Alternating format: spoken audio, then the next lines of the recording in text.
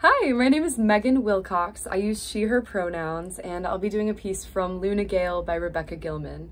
Thank you so much for watching. Yes, I called my mom. I I don't know. I thought maybe she could be a character witness or something. I, I don't know. You were there. You could have stopped me, dumbass. I'm sorry.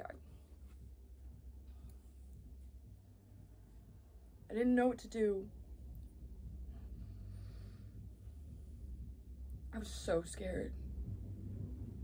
We didn't know she was that sick. We, she never got sick like that before. We didn't know.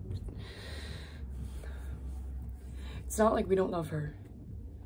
Like, we so totally love her. Like, it's epic. Like, like, when she's asleep and you look at her eyelids and you can see her little eyes moving under there and you just like, like, you just want to know everything she's thinking. Like, like you just want to like meld with her and you're like,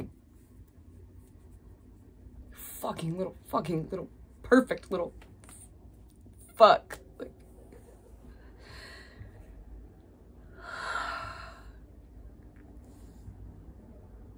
we're idiots. And we are. But we're not mean or anything. We're stupid, but we're not bad. We're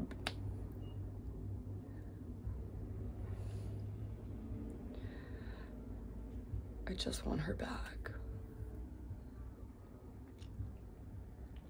Thank you.